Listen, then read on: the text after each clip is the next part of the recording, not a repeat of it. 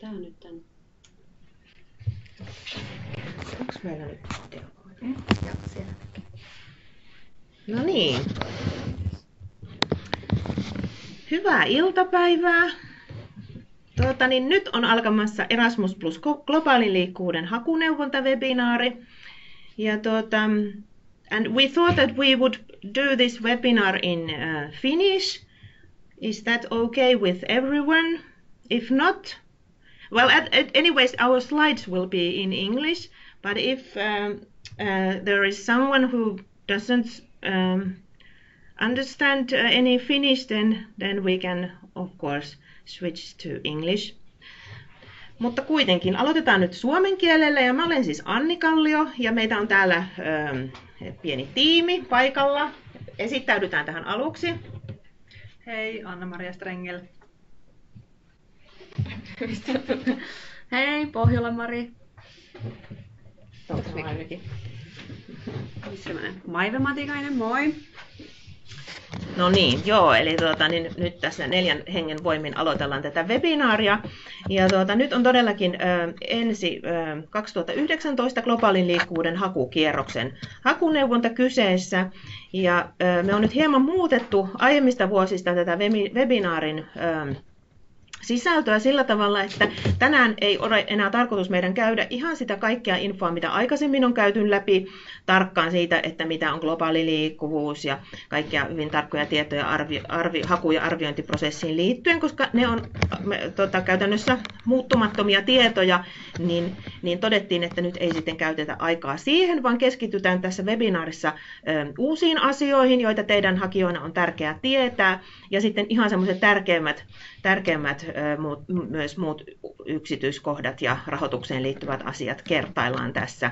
Eli meillä on aikaa varattu kaksi tuntia, mutta, mutta tota niin, arvatenkin, tai oletettavasti meidän osuus ei niin kauan kestä, mutta me luotetaan siihen, että teiltä tulee sieltä aktiivisesti kysymyksiä, laittakaa niitä sinne chattiin ja pyritään sitten vastailemaan tässä sekä suullisesti tai sitten, tai sitten vähintäänkin kirjallisesti sinne chatin kautta kysymyksiin. Ja me taltioidaan tämä webinaari ja sikäli kun onnistumme, niin laitetaan se sitten myös jälkikäteen katsottavaksi. Ja ehdottomasti myös nämä meidän diat tulee myös nettisivulle jälkikäteen katsottavaksi. Hmm, oliko meillä vielä muita käytännön yksityiskohtia? Aika mainita, että nauhoitetaan. Joo, ja tosiaan nau- nauhoitetaan ja, ja, ja tota, niin, sitten voitte palailla tähän. Ja tota, eiköhän me nyt sitten vaan ryhdytä tuota, tuota niin, esityksen kimppuun. Tuota, niin, tämä esityksessä on nyt poimittu viisi eri kokonaisuutta, eli kerrotaan vähän uusista asioista 2019 hakukierroksella. Sitten kerrotaan harjoitteluihin ja tuota, työ, muihin kuin korkeakouluihin suuntautuviin tai niistä suuntautuviin henkilöstöliikkuvuusvaihtoehtoihin liittyviä yksityiskohtia. Nämähän tuli viime vuonna uutena, mutta kertaillaan näitä, koska näin varmastikaan vielä tässä globaalissa liikkuvuudessa niin laajaa jalansia ole saaneet. Sitten käydään läpi tämän 2019 hakukierroksen rahoitusta, jossa on uusia juttuja tiedossa.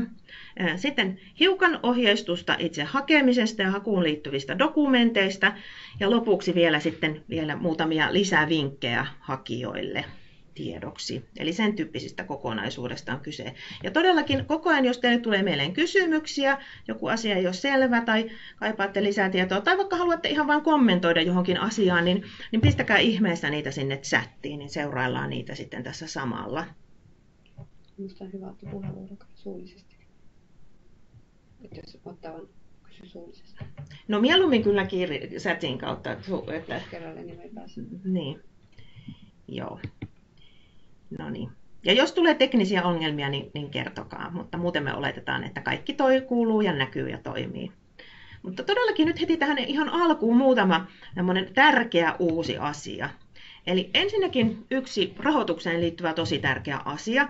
Eli me on ihan nyt tässä nyt muutama päivä sitten saatu tieto siitä, että meidän rahoitus onkin nyt ö, tulee kasvamaan erityisesti Afrikan maiden osalta. On nyt jo aikaisemmin kuten ehkä jotka kerkesitte hakukuulutusta nähdä, niin huomaatte, että Länsi-Balkanin rahoitus on, on kasvamaan päin. Mutta tuota, nyt ihan uutena asiana tämä tieto ei ole ennättänyt todellakaan siihen aiemmin julkaistuun hakukuulutukseen, niin Afrikan osalta meille on tulossa useiden maa-alueiden ja maiden osalta lisärahoitusta, jonka tarkkaa suuruutta me ei vielä tässä vaiheessa tiedetä. Me, me on juuri tuota, laitettu anomus komissioon, että ollaan tästä lisärahoituksesta kiinnostuneita, mutta tuota, niin, toivottavasti se selviää pian. Ja nyt halutaan tästä teitä heti alkuunsa tiedottaa, että jos teillä on mielessä niitä Afrikka-hankkeita, monilla on varmaan sinne vanhoja kumppanuuksia muiden rahoitusohjelmien ajoilta, niin tuota, niitä kannattaa nyt vielä, että vaikka ette olisi vielä lähtenyt niitä valmistelemaan, niin ehdottomasti valmistella. Että tämä liittyy semmoiseen EUn ja EUn Afrikka-aloitteeseen, joka kantaa tota niin, Junckerin nimeä, ja nämä on todella, todella lyhyellä varoitusajalla tulossa nyt tähän useita miljoonia euroja EU-tasolla haettavaksi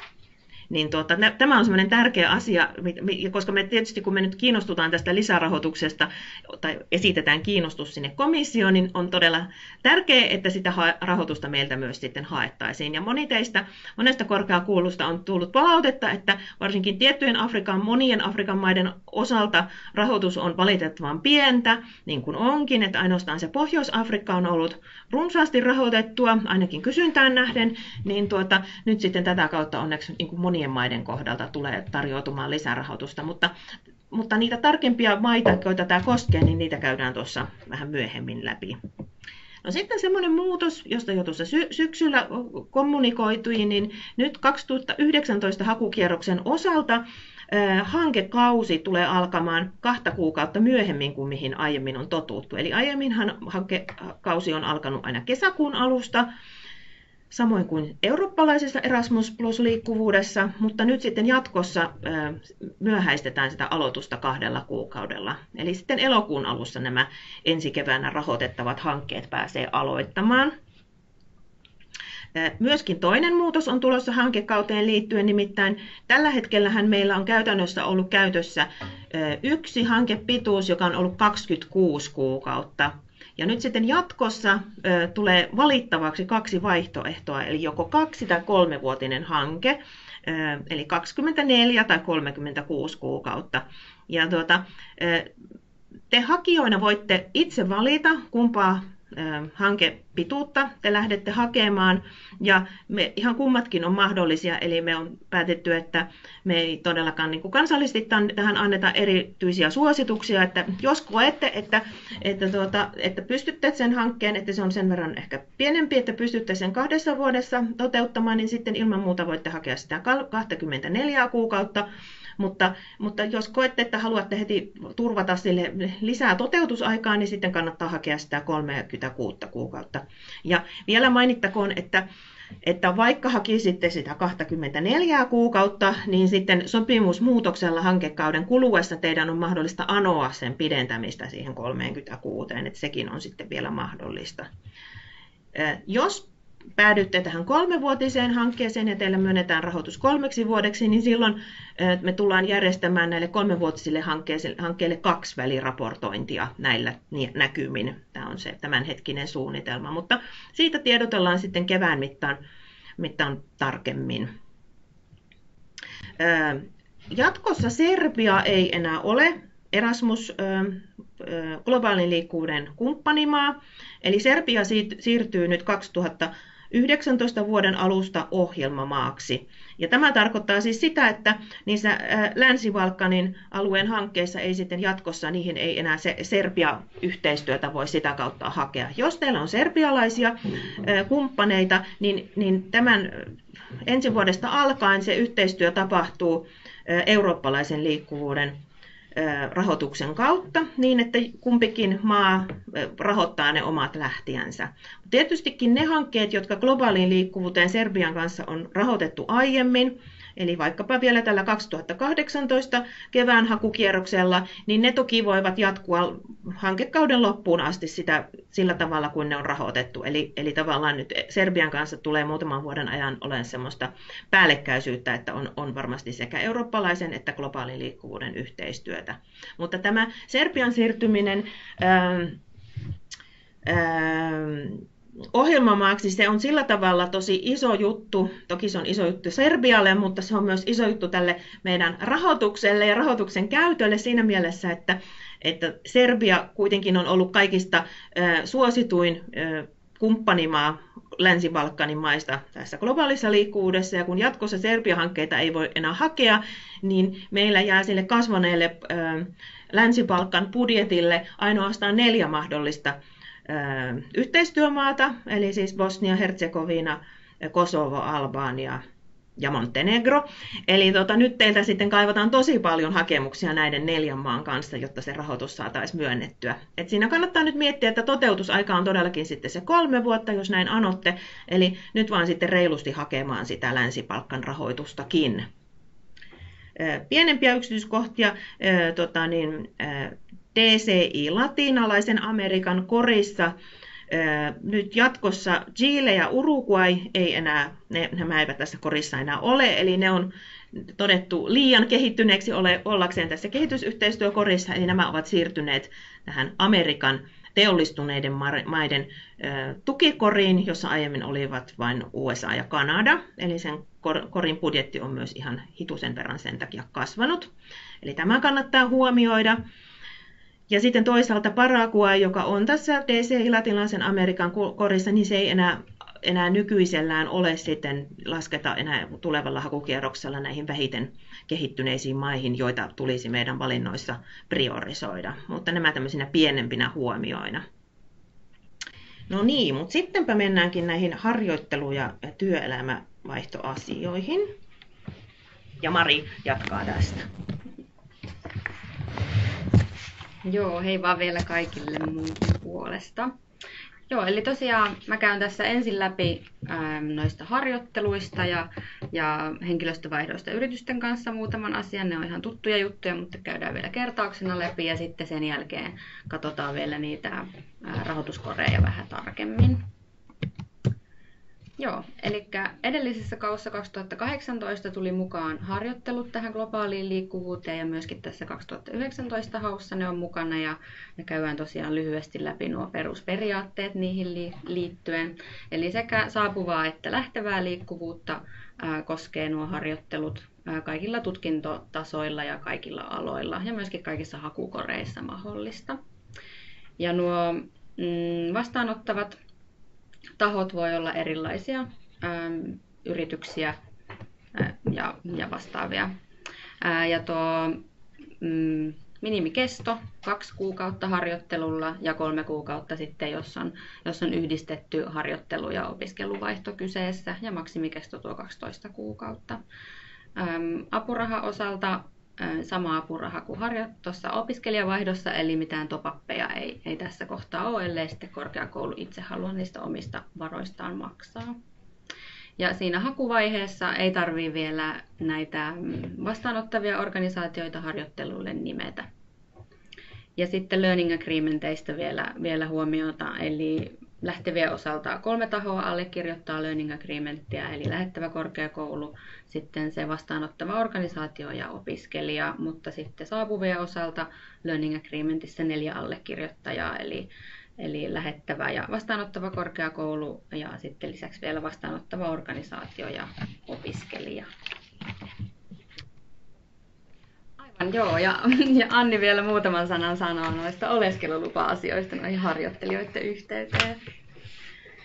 Joo, tämmöinen pieni välisviikki tähän kohtaan. Eli tota, niin, ää, jotkut teistä, jos oli, olitte paikalla tuota, ää, marraskuun lopun ää, Trainet semi- tai tilaisuudessa, niin siellä jo vähän puhuttiinkin tästä asiasta. Eli, mutta nyt tiedoksi, tiedoksi myös teille kaikille, jotka olette siellä kuulolla, niin ää, tässä on nyt ehkä pientä semmoista haastetta osoittautunut liittyen saapuvien harjoittelijoiden oleskelulupiin meille Suomeen. Eli nythän siis syyskuun alusta tuli voimaan tämä uusi lainsäädäntö, jolla pantiin toimeen EU-direktiivi, joka koski kolmansien maiden saapumista Suomeen muun muassa opiskelun ja tutkimuksen ja työharjoittelun perusteella, niin tässä tähän lain yksityiskohtiin liittyykin nyt sellainen asia, että ha, ha, palkattomaan harjoitteluun ei niin kuin oleskelulupaa myönnettäisi, vaan ainoastaan, vaan vaaditaisiin niin kuin palkkatulo, joka olisi vähintään 1189 eli Kelaan määrittelemään toimeentuloehdon mukainen kuukaudessa. Ja eli tässä nyt selvästi näyttäytyy pienoinen ongelma, mahdollinen ongelma näiden Erasmus Plus-harjoittelijoiden osalta. Et meillä on tämä nyt selvittelyn alla, me käydään keskustelua opetus- ja kulttuuriministeriön kanssa ja Migrin kanssa ja sisäasiaministeriön kanssa ja tota, vähän katsotaan, että pitää tätä pystytään ratkaisemaan, että, että, että tämmöisiä hätäratkaisuja ainakin voisivat olla sellainen, että, hakee, että, että saapuvat, saapuvat harjoittelus olisi tämmöisiä yhdistettyjä jaksoja, eli harjoittelija myös tulisi opiskelemaan ja sitten voisi ehkä hakea sitä koko jaksolle sitä ää, oleskelulupaa opiskelun perusteella. Mikristä on myös sanottu, että oleskelulupaa voisi hakea muun syön perusteella silloin, kun on kyse palkattomasta harjoittelusta, mutta näissä ne lupaprosessit taitaa olla hiukan, hiukan pitkällisiä ja kimuranteja, että se ei välttämättä ole se kaikkein suositeltavin vaihtoehto sekään. Mutta nyt halutaan teitä vain tästä lähinnä niin kuin tiedottaa, että, että tuota, tällainen pieni asia tässä pitää ehkä huomioida. Ja tuota, voitte, voitte sitä huomioida, kun, kun mietitte näitä mahdollisia haettavia harjoitteluja ja toteutettavia. Ja todella mielellään otettaisiin sitten sieltä korkeakoulusta meille tänne opetushallitukseen teidän kokemuksia tästä. Ja, ja jos varsinkin jotain hankaluutta ilmenee, tai jos, jos ei ilmene, niin siitä myös mielellään kuultaisiin näissä oleskelulupa-asioissa asioissa, mutta että, että tuota, niin, niin näihin, näihin yli 90 päivän kestoisiin oleskelulupa-hakemuksiin tosiaan liittyy nyt tämmöinen pieni, pieni tuota, mutka tällä hetkellä ainakin. Mutta tiedoksi siis tämä, ja sitten jatketaan. No niin. Joo, ja sitten seuraavaksi muutama sana vielä näistä digitaalisia taitoja kehittävistä harjoitteluista. Eli samalla tavalla kuin tuossa edellisessä haussa, niin myöskin tällä uudella kaudella komissio seuraa tällaisia digitaalisia taitoja kehittäviä harjoitteluita Horisontti 2020 maissa, jotka osallistuu tähän tähän globaaliin liikkuvuuteen ja listauksen näette, näettekin siinä kalvolla. Ja näistä maista ähm, voisi vielä huomioida mainita tuon Sveitsi ja Färsaaret, eli, eli ne on kelpoisia ainoastaan vastaanottamaan näitä digiharjoitteluja ja muita toimintoja, ei näihin maihin tästä globaalista liikkuvuudesta voi hakea. Ja taustalla on tosiaan tässä ajatus tai huomio siitä, että, että työmarkkinoilla enemmän kaivataan tämmöisiä henkilöitä, joilla on näitä digitaitoja.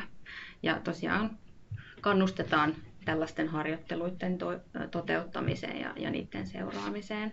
Ja näihin digitaalisia taitoja kehittäviin harjoitteluihin ei ole mitään erillistä hakumenettelyä, eli haetaan ihan normiharjoitteluina siellä hakulemakkeella. Ja lisäksi näissä on tällainen hyvin, hyvin yksinkertainen tuo raportointi, eli ensinnäkin siellä Learning Agreement lomakkeella on tämmöinen simppeli yes-no-kysymys, eli onko, onko kyseessä tämmöinen digitaalisia taitoja kehittävä harjoittelu ja myöskin sitten Mobility Toolissa nämä, nämä vaihtojaksot tai harjoittelujaksot tulisi flagata merkiksi siitä, että, että ne kuuluu näihin digiharjoitteluihin.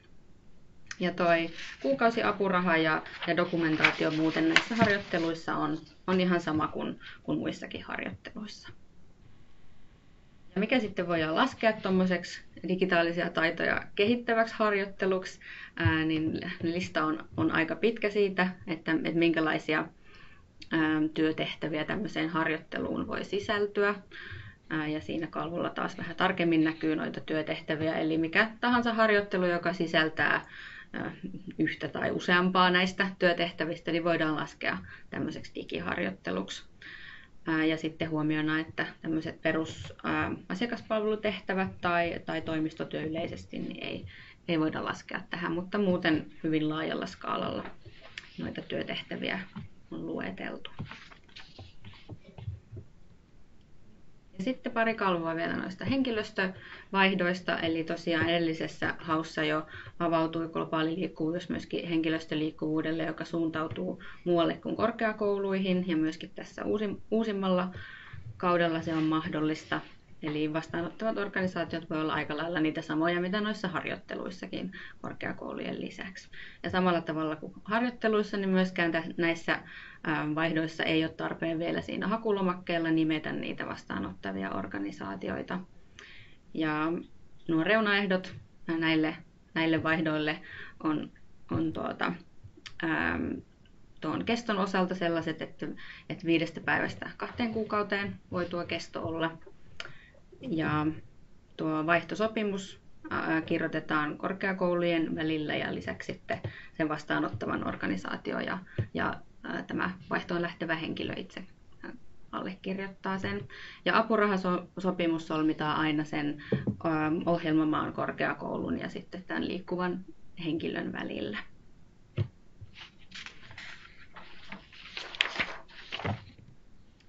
Sitten vielä tarkemmin joitain reunaehtoja liittyen erikseen opettajavaihtoon ja henkilökuntavaihtoon.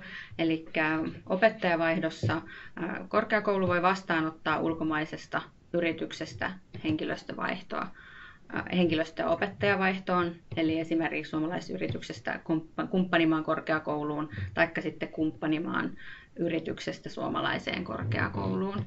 Ja tässä 2019 haussa ei ole määritelty mitään minimimäärää opetustunneille tähän yrityksistä kutsuttavan henkilön opettajavaihtoon. Ja sitten henkilökuntavaihdon osalta kumppanimaan korkeakoulun henkilöstöä voi saapua Suomeen henkilökuntavaihtoon korkeakoulun lisäksi myöskin yritykseen tai muuhun organisaatioon, mutta Suomesta nuo lähtevät henkilökuntavaihdot on mahdollisia vain kumppanimaiden korkeakouluihin, ei siis yrityksiin ollenkaan. Eli siinä, siinä, siinä tällainen erityisrajoitus. Joo, eli siinä oli lyhyesti näistä harjoitteluista ja henkilökuntavaihdoista. Ja sitten voitaisiin lyhykäisesti käydä läpi vielä sitten noin rahoituksen tiedot eri, eri tukikorien osalta. Yleisesti ensin tuosta budjetista siellä hakukuulutuksen, jos on lukenut, niin nämä tiedot on varmasti jo ihan tuttuja, eli yhteensä 3,3 miljoonaa euroa on jaossa tässä 2019 haussa, ja siitä tuo 3,1 miljoonaa tulee sieltä EUn ulkosuhdevaroista, eli noita Heading 4 rahoitusta, ja sen lisäksi sitten vielä eurooppalaisen liikkuvuuden varoista 180 000 käytetään sitten lähtevään tai on mahdollista käyttää tuohon lähtevään opiskelijaliikkuvuuteen DCI ja EDF-instrumenttien maihin. Ja niin kuin Anni tuossa jo tosiaan mainitsi, niin kasvua erityisesti siellä Länsi-Balkani Ipakorissa, josta se Serbia on, on nyt tosiaan siirtynyt pois. Ja sitten tuo lisärahoitus Afrikkaan on nyt vielä sellainen ihan uuden uusi asia, jota nyt tässä sitten seuraavilla dioilla vähän tarkemmin esitellään. Mutta, mutta siinä hakukuulutuksessa jo mainittiin tuo Länsi-Afrikan äm, lisärahoitus, mutta sen lisäksi on nyt sitten luvassa vielä Pohjois- ja Etelä-Afrikkaan sekä myös Afrikan sarveen lisärahoitusta, mutta, mutta siitä tosiaan tarkemmin tuossa tulevilla kalpoilla. Joo, eli sitten jos käydään ihan tukikoreittain vähän tuota rahoitusta läpi, eli ensimmäisenä tuo Eni-instrumentin tukikoreista. Äm, eli tässä rahoitus ehkä hieman pienempi kuin viime vuonna. Ja esimerkiksi Venäjän osalta rahoitus tippunut suunnilleen 47 000 euroa. Ja sitten näistä voisi erityisesti mainita tuosta Any Eastern Partnership-korista. Ukrainan osalta se eli siellä hakukuulutuksessa ja oli, oli merkitty, että nämä Krimin alueen korkeakouluista se lista on tulossa vielä päivitetty versio siitä, että mitkä, mitkä korkeakoulut on kelpoisia osallistumaan ja mitkä ei. Eli sitten kun saadaan tietoa, niin päivitetään sitä hakukuulutusta sitten sen mukaan.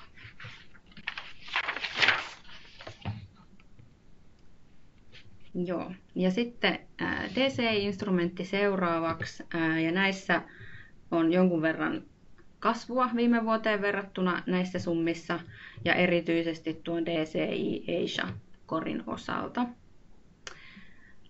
Ja sitten tuolla tarkemmissa tiedoissa on vähän näitä tarkempia reunaehtoja tähän rahoitukseen, jotka on, on samoja kuin, kuin jo viime haussa. Eli siinä DCI Asia-korissa vähintään 25 prosenttia rahoituksesta tulisi kohdistaa näihin low income maihin ja sitten maksimissaan 30 prosenttia voidaan käyttää Intian ja Kiinan kanssa tehtävää yhteistyöhön. Ja tosiaan tuolla ulkosuhderahoilla voidaan rahoittaa tuota, saapuvaa liikkuvuutta ja lähtevä osalta opettaja- ja, ja henkilöstövaihtoja sekä sitten jatko-opiskelijoiden vaihtoja. Eli sama, samoja rahoituksia, anteeksi, noita rajoituksia kuin edellisessäkin haussa, niin näissä koreissa. Ja sitten mm, näissä seuraavissa DCI-instrumentin ähm, koreissa, ähm, no ensinnäkin samoja rajoituksia, mitä noissa edellisissäkin jo mainittiin, ja sitten tuosta DCI Middle East-korista voisin mainita, mainita samaan, ää, mikä oli noiden Ukrainan korkeakoulujen osalta, eli siellä mm, Iranin osalta on myöskin tulossa päivitetty listaus niistä korkeakouluista, jotka on, on kelpoisia tähän ää, toimintoon osallistumaan, eli se myöskin sitten päivitetään sinne hakukuulutukseen. Ja DCI Latin America korista jo Anni mainitsikin noista muutoksista, eli sieltä tosiaan tuo Chile ja Uruguay on siirtynyt tuonne mm, PI Amerika koriin.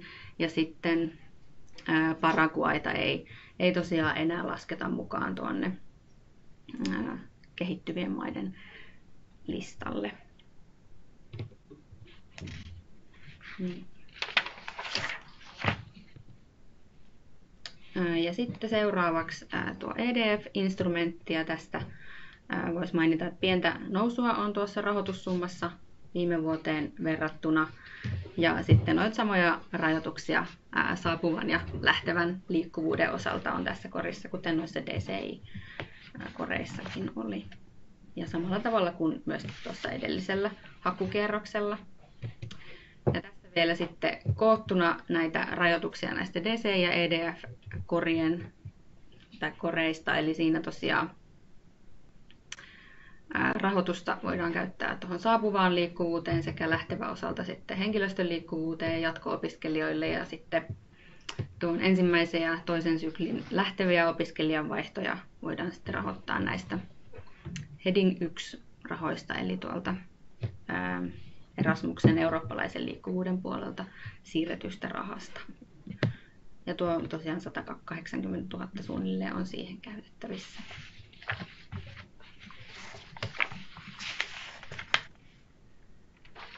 Joo.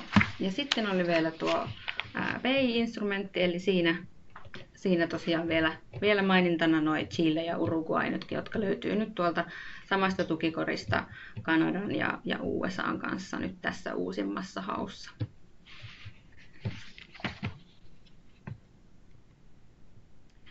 Ja sitten vielä tuo IPA-kori, josta onkin jo, jo paljon puhuttu, eli tässä tosiaan tässä korissa tosiaan tuo budjetti on jonkin verran kasvanut ja sen lisäksi sitten tuo Serbian poistuminen täältä sinne, sinne tuota, ää, ohjelmamaiden puolelle, niin tosiaan tähän, tähän tukikoriin kaivattaisiin lisää, lisää niitä hakemuksia, niin kuin Anni tuossa jo alussa mainitsikin. Eli ehdottomasti kannattaa nyt, nyt sitten näiden tähän koriin jäljelle jääneiden maiden kanssa sitä rahoitusta täältä hakea. No niin, ja sitten päästään tosiaan tarkemmin katsomaan näitä, tätä lisärahoitusta Afrikan maiden kanssa. Elikkä, eli komissiolta on tosiaan luvattu reilusti lisärahoitusta yhteistyö Afrikan maiden kanssa. Ja joitain ihan uusia, tuki, uusia tukikoreja on tullut. Ja sitten lisäksi tässä heti ensimmäisenä kori, joka nyt kulkee nimellä Juncker West Africa tukikori. Ja on siis tämä entinen West Africa Trust Fund, joka on ollut viime vuonna myöskin haussa. Eli nyt nimi vaihtunut. Ja tosiaan aikaisemmin ähm, hakukuulutuksessa infottiin jo, eli että noin 150 000 euroa olisi tähän Länsi-Afrikan tukikoriin luvassa tälle, tälle hakukierrokselle, mutta nyt tosiaan on saatu tieto, että, että lisärahoitusta olisi vielä entisestään siihen tulossa, ja noita summia ei, ei nyt valitettavasti vielä tiedetä, mutta mutta tosiaan toivottavasti tässä vielä ennen joulua nekin selviää, niin saadaan sitten myös teille päin sitä tietoa jaettua ja päivitettyä sitä hakukuulutusta sen mukaan. Ja tosiaan tässä Länsi-Afrikan korissa, niin sen lisäksi, että nimi on muuttunut ja rahoitusta on lisää, niin myöskin tuo maiden lista on kasvanut. Eli siellä on aikaisemmin ollut 12 maata ja nyt niitä on yhteensä 16. Ja siellä kalvolla näkyykin, on tummemmalla merkitty sitten nämä uudet maat, jotka on nyt tähän, tähän hakuun sitten tullut lisää.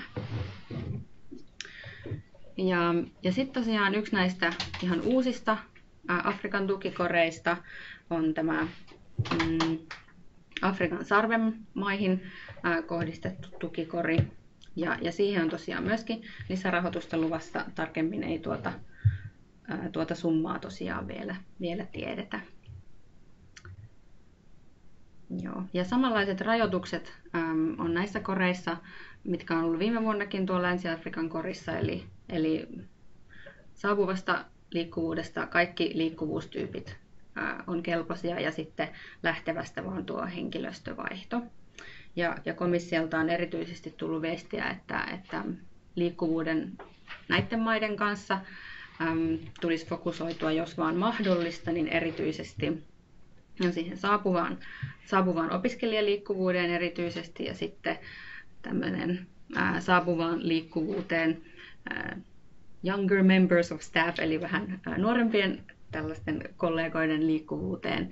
Ja sitten tämmöistä laajaa maantieteellistä kattavuutta toivotaan.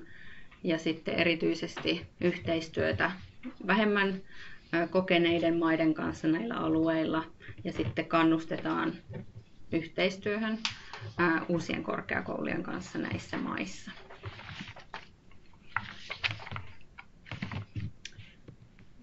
Ja sitten vielä näiden edellä mainittujen lisäksi on vielä kaksi ihan uutta tukikoria Afrikan maiden kanssa. Eli Pohjois-Afrikkaan on oma korinsa, joka, ja nämä kaikki kantaa tosiaan tätä, tätä Junckerin nimeä noista korien nimissä myöskin. Eli Pohjois-Afrikan tukikorissa on viisi maata, jotka on tuolla Any South Mediterranean korissa jo mukana, niin erityisesti näihin maihin kohdistettu vielä sitten lisärahoitusta. Ja sitten vielä oma erillinen korinsa vielä, vielä tuolle mm, Etelä-Afrikalle. Ja tämä kori siis tulee tämän erillisen DCI Etelä-Afrikan korin lisäksi vielä sitten oma, oma lisä, lisärahoituspotti tänne jakoon.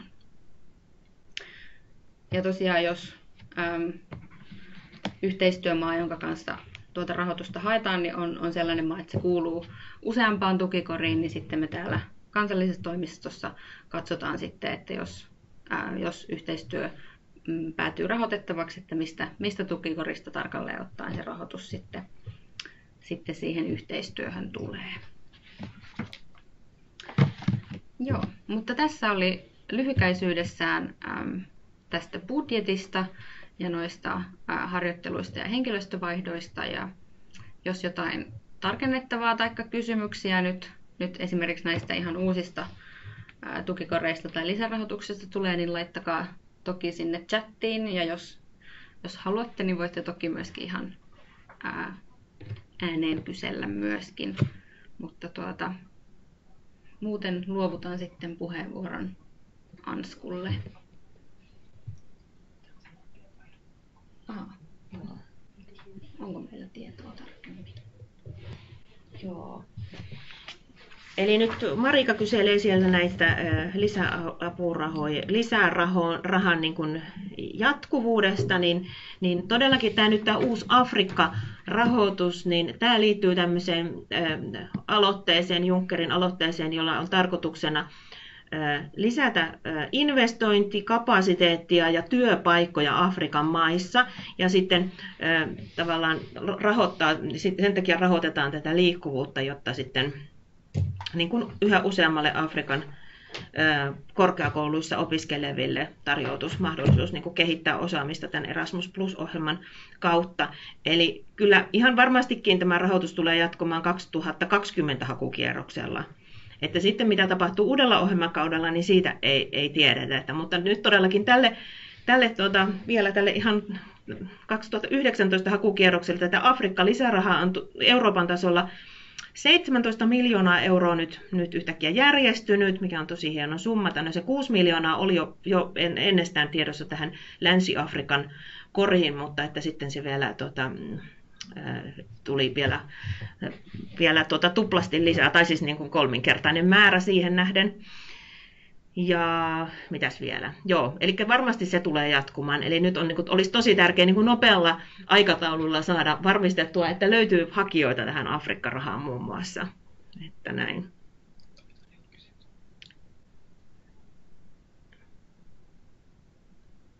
Kysytään, että, että kannattaako hakea isompaa liikkuvuusmäärää nyt kolmevuotiseen hankkeeseen kuin kaksivuotiseen. No, toki kannattaa ja riippuen varsinkin niin kuin tukikoristamista haette, mutta, mutta niin kuin varmaan ymmärrätte, niin just nämä korit, missä on hyvin vähän rahaa edelleenkin tarjolla, niin, niin tavallaan se meidän tukipotti se ei ole kasvanut niissä se, vaikkakin sopimuskausi on pidentynyt, eli jos puhutaan vaikka näistä teollistuneiden maiden koreista tai vaikkapa latinalaisen Amerikan korista, niin niissähän rahoitus on edelleenkin tosi pienimuotoista, eli tota, Eli voitte toki hakea enemmän, mutta, mutta varmastikaan niin kuin ne myönnettävät määrät ei todennäköisesti tule olemaan sen suurempia kuin aikaisempanakaan vuonna, koska, koska ainakin oletettavaa on, että hakijoita edelleen sinnekin niihinkin piisailee. Mutta tietysti näitä koreja, missä rahoitus on aika reilua ja hakijoita ainakaan aiempina vuonna ei ole ollut niin kovin paljon, niin toki silloin kannattaa niin kuin ajatella, että että voi hakea sitten semmoista liikkuvuusmäärää, että, että se toteuttaminen kestäisi sen kaiken kolme vuotta. Et voitte itse tätä ihan sitten harkita. Joo, ja tosi kiva kuulla, jos ainakin siellä Metropoliassa heti koetaan, että pystytään tarttumaan tähän, tähän Afrikka-hakuun. Ja meillähän on siis monien Afrikan maiden osalta, jotka on ollut tässä EDF-korissa, niin tullut tosi paljon hakemusta. Meillä on tosi vähän pystytty niistä rahoittamaan. Tuossa itse asiassa kohta näette pientä pientä tuota tilastoa siihen, siihen liittyen, mutta että tämä on tosi hieno juttu, että toivotaan nyt vain, että saataisiin aika iso, iso potti lisää sieltä, mutta, mutta se toivottavasti pian, pian komissiosta se selvenee. Totta, toki nämä maat varmasti on monille kiinnostavia, varsinkin nämä tietyt maat, jotka on tässä Afrikan sarven uudessa Junkerkorissa, eli siellä on paljon semmoisia entisiä North, South, South, Heikki, kumppanimaita, niin, jotka varmaankin voi olla sitten kiinnostavia monille.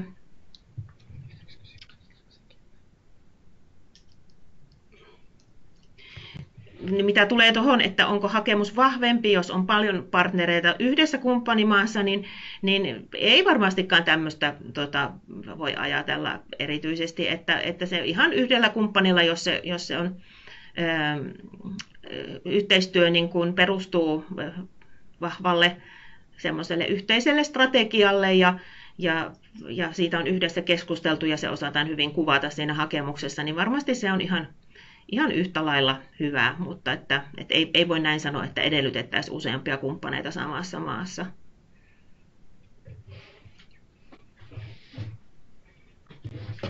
Joo, ja, ja todellakin niin kuin, joo, diat varmaan saadaan, saadaan hyvinkin pian.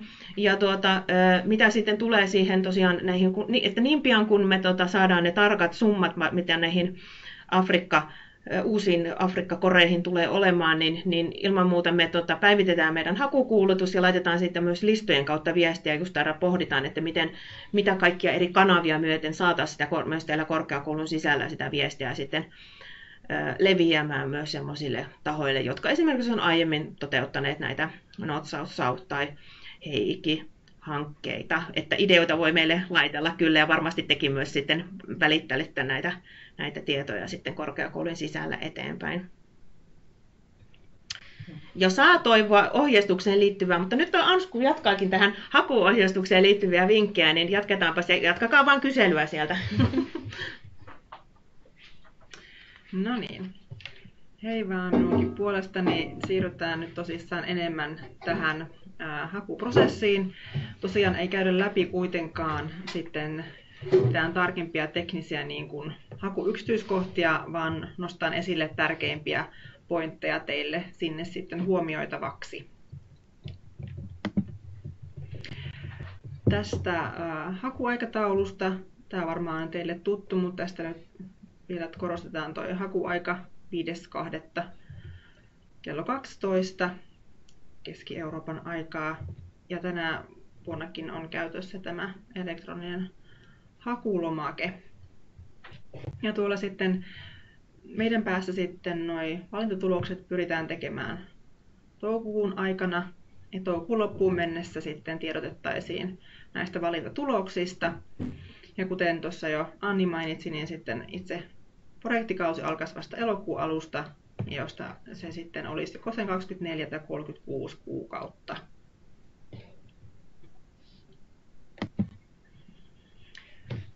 Tähän ollaan koottu näitä tärkeimpiä dokumentteja, mitä niin kuin on tarjolla, mitä hän kannattaa tutustua sitten tähän rahoituksen hakuun liittyen. Nämä löytyy tuolta meidän verkkosivuilta kaikki. Eli hakukuulutus, mikä onkin tullut myöskin listoja pitkiä, siinä tarkemmat ohjeet jotka vielä sitten päivitellään, kunhan saadaan tarkempia summia niiden lisärahoituksen osalta. Ää, tässä myöskin tämä Erasmus Plus ää, tämä handbook. Siihen on komissio lupailu vielä joulukuun aikana päivitystä, mutta että heti kun semmoinen tietysti tulee, niin laitellaan myöskin sinne meille verkkosivuille, mutta siellä on se vanha versio olemassa. Samoin kuin sitten siellä on tämä niin kuin ihan tähän globaaliin liikkuvuuteen liittyvä tämä niin kuin arvioitsijoiden ohje, mihin kannattaa myös tutustua, mistä näkee myös sitten niitä, niitä niin kuin arviointiperusteita. Ja sitten tarkemmin itse niin kuin hakuun liittyvät dokumentit löytyy sitten myös meidän verkkosivuilta.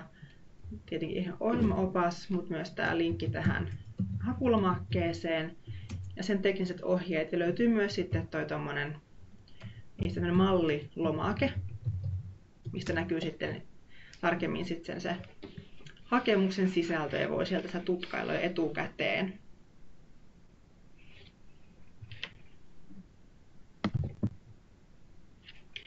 Mutta vielä sitten tälleen niin tarkennuksena tosissaan, että vain yksi hakemus per korkeakoulu ja laitetaan kaikki nämä maat sit siihen samaan hakemukseen. Ja tuolta oli meiltä jo kyseltykin sitä, että mitenkä sitten tota, näistä tota, laatukysymyksiin liittyen, että vastaanko niihin korkeakouluittain vai maittain, ne on sitten niin kuin maittain. Eli siellä sitten, sitten saadaan ne kaikki sinne samaan pakettiin niin sanotusti ne maat aina sitten siellä hakulomakkeella.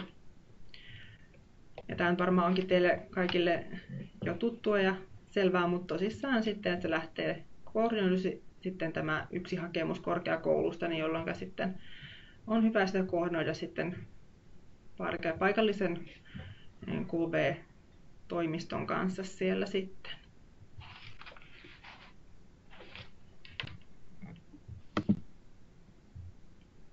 Ja vielä muistutuksena näistä niin kuin liikkuvuuskonsortioista, että, jotka voi myöskin hakea tätä rahoitusta. Eli siihen tämmöinen äh, muistutus, että se on aina voimassa kolmen niin kuin peräkkäisen haun ajan tämä akkreditointi. Eli jos on vaikka uusi liikkuvuuskonsortio kyseessä, niin pitää hakea sitä tätä akkreditointia sitten erikseen tämmöisellä KA108 lomakkeella, tai jos on aikaisempi, aiemmin jo muodostettu konsortio, niin sitten, mutta hänellä on sitten jo tämä akkreditointi vanhentunut, niin sitä pitää myös sitten hakea uudestaan. Mutta muuten toimitaan ihan niin kuin yksittäiset korkeakoulut, eli muuten hakuprosessi on ihan sama.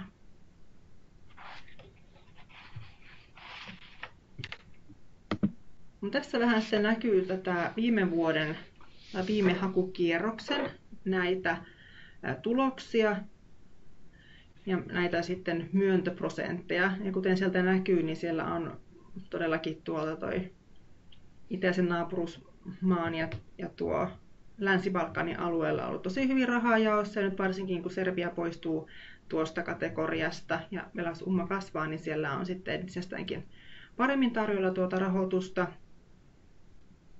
Mutta näissä sitten hyvin kilpailtuja kategorioita on useammatkin. Kannattaa sitten näitä katsoa. Sitten tietenkään sitä ei voi ikinä etukäteen tietää, että mitenkä, mitenkä se tänä vuonna sitten se kilpailu näihin kohdistuu, mutta että siellä on sitten pystytty myöntämään huomattavasti vähemmän rahoitusta useammassakin korissa kuin mitä on haettu. Ja vuonna suurin piirtein noin 35 prosenttia niin kuin, haetussummasta on voitu sitten myöntää. Mutta tässä näin niin kuin pääpiirteisen tästä itse niin kuin hausta ja näistä, näistä tuota, viime kierroksen näistä tuota, myöntöprosenteista. Ja annan sitten vielä Annille puheenvuoron näistä vielä vinkkejä hakijoille. Joo. Tuota, niin vielä ehkä semmoinen täydennys tuohon, mitä tuli niihin liikkuvuuskonsortioihin, niin nyt jos teillä on tarve hakea uutta konsortioakkreditointia tai, tai, tai uudelle konsortiolle tai sitten vanhentuneen akkreditoinnin jatkoa, niin nyt kuitenkin nyt tässä ohjelmakauden lopussa ne akkreditoinnit on voimassa enää niin kuin ohjelmakauden loppuun, eli nyt tässä tapauksessa kaksi vuotta. Eli sitten ensi ohjelmakaudella tulee, tulee sitten kenties olemaan joku oma akkreditointihakumenettelynsä. Eli nyt sitten myönnetään ainoastaan tämän ohjelmakauden loppuun. Joo, mutta todellakin me päädyttiin nyt tämmöiseen ratkaisuun, että ei, ei, ei nyt tämän tarkemmin käydä tässä yhteydessä näitä hakuohjeita läpi. Eli ilman muuta nyt sitten laittakaa vaan meille kyselyä, jos on jotain epäselvää tai varsinkin, varsinkin jos, jos tuntuu, että siinä teknisesti siinä hakulomakkeen täytössä tai muussa ilmenee ongelmia.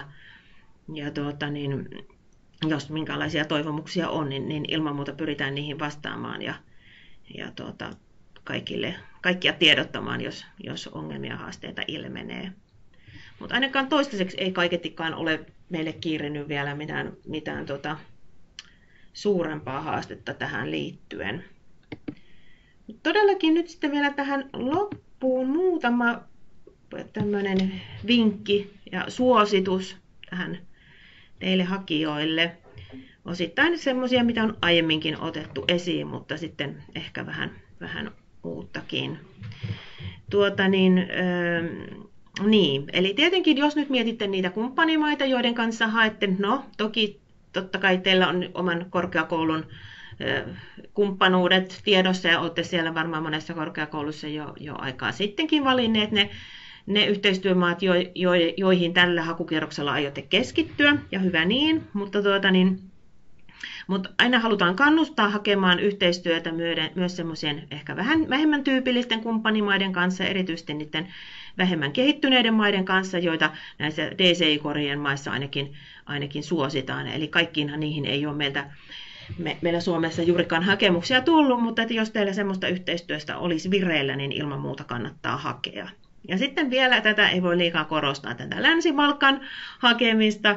Eli, tuota, eli nythän meillä viime kevään kierroksella kävi niin, että muu tuki kyllä saatiin myönnettyä, mutta sieltä itäisen naapuruusalueen eli Eni East-korista jäi 70 000 euroa jakamatta, niin, niin, niin toki kauhean, kauheasti toivotaan, että tämä ei nyt enää toistuisi, että tuota, saataisiin meillä Suomessa kaikki tuki myönnettyä, että todellakin kun sitä, sitä sitten on se yksi vuosi enemmän aikaa toteuttaa, niin, niin ei muuta kuin hakemaan. Ja tietysti nyt tämä Afrikka-yhteistyö.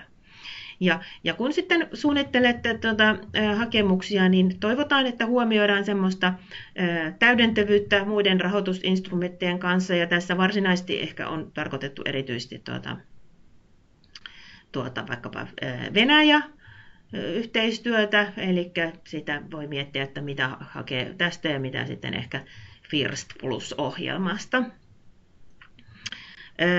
No niin, sitten puolestaan mitä tulee liikkuvuustyyppeihin, niin mehän perinteisesti tiedotettu siitä, että, että jos teillä on uusia kumppanuksia, niin silloin on ihan hyväkin aloittaa yhteistyötä henkilöstöliikkuvuudella, opiskelijaliikkuvuuden sijaan, mutta että nyt ehkä semmoisena uutena viestinä, että tässä ohjelman niin kuin yleisillä tavoitteina kuitenkin on enemmän liikuttaa opiskelijoita kuin henkilöstöä, eli, eli nyt me ei ole tätä tässä aikaisemmin myönnöissä lähdetty erityisesti painottamaan, eikä nytkään niin kuin voi sanoa, mutta että ehkä teillekin mietintään, että, että, tuota, että olisiko niin kuin mahdollisesti varsinkin semmoisissa kumppanuuksissa, joissa yhteistyö on jatkunut jo pitkään, niin mahdollista vielä lisätäkin opiskelijoiden osuutta näistä liikkujista. No sitten siellä on meiltä itse asiassa joku sieltä Facebook-ryhmä siihen kyseli siitä kumppanimaista ja muun muassa tuli sellainen kysymys, että syökö saman korkeakoulun samaan tukikoriin kohdistuvat hakemukset, jos on kaksi tai useampi eri kumppanimaata, siinä, että syökö ne hakemukset ikään kuin toisiaan, niin, niin tuota, varsinaisesti eivät sikäli, että kaikki yksittäiset maakohtaiset hakemukset kilpailee keskenään riippumatta siitä, onko ne jättänyt meille samaa vaiko eri suomalaiskorkeakoulu. Mutta että toki tietysti niin mitä enemmän niitä on, niin sitä enemmän sitä kilpailuakin on, mutta että me ei mitenkään niin kuin katsota, että, että se tuki pitäisi mennä, jos siellä on monta eri saman korkeakoulun niin kuin eri kumppanimaita koskevia hakemuksia, niin, niin tota, että, että sitten niiden sijaan priorisoitaisiin jonkun toisen, to, toisen korkeakoulun hakemus, niin se ei ole, se, se ei ole meillä semmoinen valintakriteeri. Että ainut, mitä jo, voidaan joutua priorisoimaan, voi olla nämä, nämä maantieteellisen balanssin niin kuin niihin liittyvät vaatimukset, mutta ei, ei sen sijaan niin kuin ole estettä, etteikö voitaisiin rahoittaa niin kuin samalta korkeakoululta useampikin hakemus samasta tukikorista. Ja monesti näin on tehtykin. Eli kyllä ilman muuta kaikki relevantit yhteistyökuviot kannattaa, kannattaa ottaa mukaan siihen hakemukseen. No tietenkin liikkujamäärissä toivotaan realistisuutta, että eli ei liikaa olisi yliampuvuutta, mutta tietenkin näissä koreissa, missä tätä rahaa on aika runsaasti, niin toki sitten uskaltaa hakea sillä reilu kosti. Että tokihan niin kuin moni, moni teistä on jo tottunut, niin me täällä leikataan niitä myöntömääriä semmoisessa tapauksessa, että meillä on tuki niukassa että jos on paljon kilpailua, niin sitten yleensä leikataan määriä siinä, siinä määrin, että pystytään vähän useampi eri hanke rahoittamaan. Joo.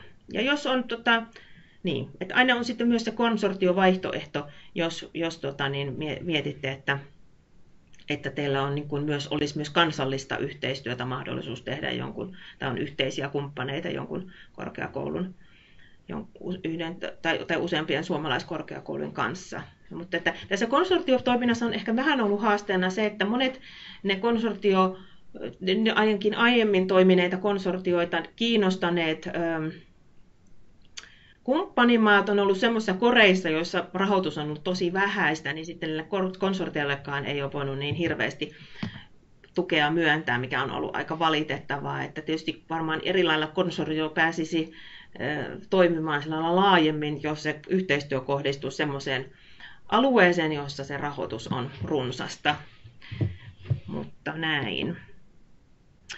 No sitten sellainen tärkeä yksityiskohta, josta on aiemminkin muistutettu, mutta että muistutetaan nyt siitä edelleen. Eli, tuota, eli kun te valmistelette hakemuksia, niin teidän tulisi varmistua siitä, että se, ne teidän kumppanikorkeakoulut on siellä kohdemaissa ö, paikallisten viranomaisten tunnustamia korkeakouluja. Tämä on nimittäin edellytys sille, että ne voi tulla rahoitetuiksi. Ja jos teillä on tästä epäselvyyttä, niin, niin sitten niissä maissa, joissa on tämmöinen niin sanottu NEO, eli National Erasmus Plus Office, niin voi, voi niiden puoleen kääntyä, tai sitten EU-delegaatioiden puoleen, paikallisten kansallisten viranomaisten puoleen, tai sitten Tietysti meihinkin voi täällä ottaa yhteyttä, mutta meillä ei ole mitään semmoista katalogia eikä semmoista laajempaa tietoa, tietoa siitä, että tuota, mitkä korkeakoulut missäkin maassa on. Että tämä on vähän, vähän semmoinen ehkä hiukan ongelmallinen asia, mutta, tuota, mutta että varmaankin semmoista, joiden kanssa on tähänkin asti tehty yhteistyötä, niin varmastikin on suhteellisen turvallista sitä jatkaa, vaikkakin toki välillä jonkunlaisia, jonkunla, joissain maissa voi jotain turbulenttisia tilanteita olla, jotka voi vaikuttaa niin kuin myös tämmöisiin kysymyksiin kenties. No sitten toinen kysymys, josta meiltä muistan ainakin viime vuoden hakukierroksella ja viime vuonna kovasti kyseltiin ja me ei ihan ehkä oltu selvillä vesillä, mitä me siihen vastataan, niin nyt asia on kuitenkin täällä meillä vähän mietiskelty ja nyt sitten tätä nimittäin koulutusvienti tavoitteisiin liittyviä, liittyvää ohjeistusta nyt sitten seuraavaksi. Eli tuota on, on usein kyselty, että missä määrin nämä globaalin liikkuvuuden hankkeet voi edistää korkeakoulun koulutusvientitavoitteita vai voivatko ne edistää. Niin tuota, tästä nyt on sellainen ohjeistus teille, että että, että siihen ei sinällään ole estettä. Eli tuota, jos, niin kun, jos teillä tavoitteena on koulutusvienti jollakin aikataululla kenties näihin maihin, niin semmoinen tavoite vertautuu mihin tahansa muuhunkin vastaavaan niin kuin syvemmän yhteistyön tavoitteeseen. Että yhtä laillahan ne tavoitteet syvemmälle jatkoyhteistyölle voi olla myös niin kuin erilaisia yhteistyöhankkeita, vaikkapa kapasiteetin vahvistamishankkeita tai tota niin, erilaisia muita kehittämishankkeita tai, tai monenlaista muutakin yhteistyötä, niin tavallaan tämmöistä arvioidessa niin se koulutusvientiyhteistyö vertautuu niin kuin näihin, tähän, eli että kertoo siitä, että on tavoitteita jotenkin syventää yhteistyötä. Eli tota, niin, niin tuota, toivotaan, että, että siinä hakemuksessa tämmöiset tai mitkä muut tahansa strategiset tavoitteet tuotaisiin esiin, että niille ehkä oikea paikka on se laatukysymysten se ykköskysymys, jossa puhutaan tästä relevan, strategian relevanssista. Ja tuota, niin kuitenkin se on nyt tärkeää muistaa, että sinällään tämä Erasmus Plus-ohjelma ei rahoita koulutusvientiyhteistyötä, sinällään. Eli ne liikkuvuudet, jotka tällä Erasmus Plus-rahoituksella toteutetaan, niin ni, niiden on oltava Erasmus Plus-ohjelman sääntöjen mukaisia. Eli jos on vaikka henkilöstöliikkuvuutta ja vaikka henkilökuntavaihtoa, niin siinä on sitten oltava kyseessä sen osallistuvan henkilön kouluttautuminen. Eli, tai jos on opettajanvaihto, niin mennään opettajamaan paikallisia tutkinto-opiskelijoita. Eli, eli tota, niin t- nämä on niin tärkeää pitää mielessä, että sillä lailla, niin kuin, mutta se, että, että edistääkö henkilöt sitten kenties muitakin asioita, niin, tai mihinkä e, e, yhteistyö sitten pidemmällä tähtäimellä tähtää, niin, niin siinä ei, ei ole mitään estettä, etteikö tavoitteena sitten voisi jossain vaiheessa olla myös niin kuin koulutusvientiin liittyvät asiat. Sitten vielä viimeisenä juttuna sellainen, että ohjelman tavoitteisiin on alusta asti kuulunut myös sellainen, että tämä ohjelma mahdollisimman paljon tukisi myös erilaisten huonommassa asemassa olevien ryhmien osallistumista hankkeisiin. Mutta tässä nyt ei olla toistaiseksi, ja puhun nyt ihan kaikista ohjelmamaista yhteensä, niin onnistuttu mitenkään ihan hirveän hyvin. Eli komissio juurikin meille kertoi, että, että jos eurooppalaisessa liikkuvuudessa tämmöisiin niin sanottuihin disadvantaged groups-ryhmiin kuuluvia liikkujia on raportoitu keskimäärin 6 prosenttia opiskelijaliikkuvuudesta, niin tässä globaalissa niitä on raportoitu vain 2 prosenttia. Ja, ja tämä pidettiin nyt vähän, vähän valitettavana asiantilana. No, tässä globaalissa tässä ei ole ollut mitään erillistä lisätukea tarjolla, mutta tuota, niin, eikä, eikä sitä oikeastaan jatkossakaan varsinaisesti ole, mutta, tuota, mutta nyt halutaan tästä nyt siinä mielessä teille mainita, että kun nyt sitten jatkossakin mietitte partnereiden kanssa liikkuvuuksien toteuttamista, niin jos on joko, joko niillä saapuvilla tai sitten teillä, teillä omassa korkeakoulussa liikkujia, jotka No, lähteväthän opiskelijat, ainakin meillä tässä eurooppalaisessa liikkuudessa on olleet käytännössä niitä perheellisiä opiskelijoita. Mutta että jos tämmöisiin ryhmiin kuuluvia tai siellä kumppanimaissa jotenkin siellä maassa tämmöisiin huonommassa asemassa oleviin ryhmiin kuuluvia liikkuja olisi, niin toivotaan, että ne sitten merkattaisiin sinne mobility-tuuliin, jotta tämä nämä tilasto, tilastot siitä sitten ehkä kaunistuisivat. Mutta tietenkään tämmöistä nyt ei ole tarkoitus tehdä tilastojen vuoksi, mutta yleisesti ottaen vain muistutetaan siitä, että ohjelman periaatteisiin kuuluu se, että tämä ei olisi eliitin ohjelma, vaan niin kuin mahdollisimman laajasti tarjoaisi osallistumismahdollisuuksia eri, eri ryhmille. No, toki se just, että mitenkä korkeakouluopiskelijat yleisesti ovat eliittiä sitten ehkä eri maissa, niin, niin se on tietysti oma hyvä kysymyksensä. Joo. Mutta siinä oikeastaan oli ne meidän vihjeet. Onko tänne ilmestynyt nyt kysymyksiä? Tässä oli tämä hankekauden mm. alusta ja sitten apurahan maksatukseen liittyvä kysymys. Joo, tuota niin, joo, eli nyt sitten hankekauden alusta, niin tuota, ö, siis se tarkoittaa se hankekauden alku sitä, että se liikkuvuus ei voi alkaa ennen sitä elokuun ensimmäistä päivää. Mutta kyllä apurahan voi sitä ennenkin maksaa se ei ole ongelma. Ja OS-tukikuluja. Eli tota, tärkeää, koska liikkuvuuden, liikkuvuuden aloituspäivä ei voi olla ennen kuin silloin elokuun alussa. Oliko täällä joku muu vilahti? Toive. Toive, mikäs toive täällä? Erasmustakin.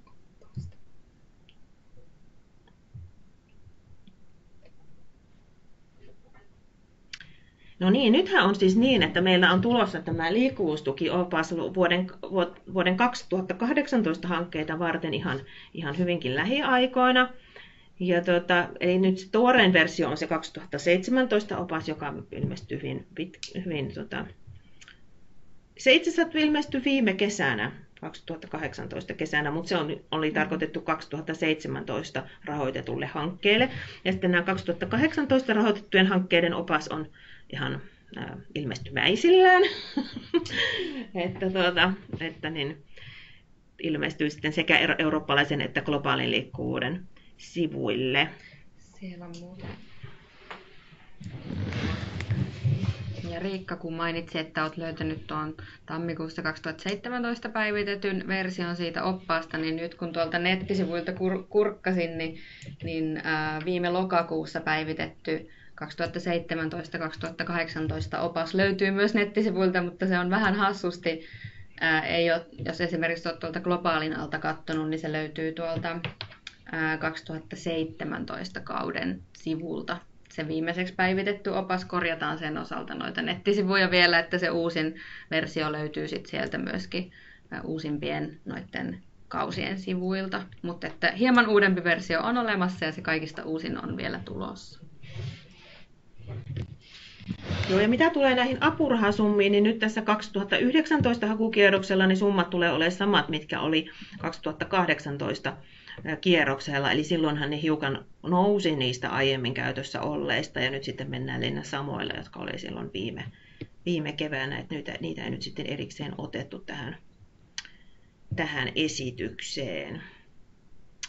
Jahas, mutta olisiko siellä vielä lisää sitten kysymyksiä? Kysymyksiä mielessä. Meillä on nyt tunti mennyt, mutta vielä voidaan tässä olla, jos, jos kysymyksiä herää. Et nyt mitä to, tosiaan pyritään tätä nyt tietoja päivittämään verkkoon ja laittamaan listojen kautta ja olisi todella tietysti tärkeää, että saataisiin ne tiedot tässä vielä ennen joululomille siirtymistä, vaikka toki tekin siellä varmasti olette siirtymäisille ne joululomille, mutta että kuitenkin saataisiin tietoa eteenpäin ja, ja sitten, sitten se auttaisi toivottavasti teitä myös hakemusten valmistelussa. Mutta jos ei enempää kysymyksiä ilmene tähän hätään, niin me kiitämme kovasti teitä osallistumisesta ja, ja toivotetaan kovasti onnea ja tsemppiä hakemus, hakemus, val, hakemusten valmisteluun ja sitten hakukierrokselle. Ja oikein hyvää joulua kaikille. Niin tuota, näin. Mutta ehkä me vaan tosiaan lopetellaan tähän, jätetään tämä hetkeksi tähän auki, niin voitte kirjoittaa chattiin, mutta, mutta tuota, jos ei, niin, niin kiitoksia, kiitoksia tästä. Ja tallennetaan todellakin tuota, tämä ja laitetaan sitten.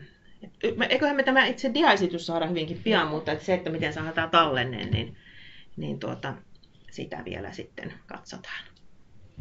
Hyvä, kiitos, moi moi.